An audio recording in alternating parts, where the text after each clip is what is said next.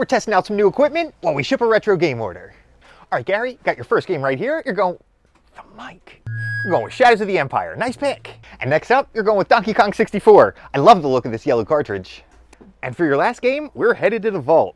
You picked out a great one. Eternal Darkness, Sanity's Requiem. Let's get your order packed up, and I'm going to throw in a gift.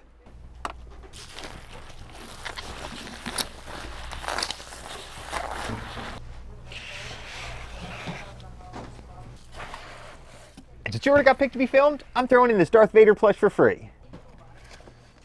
Thanks for your order, Gary. Hope you enjoy your games. And if you want to get your own stuff, link in coupon and bio.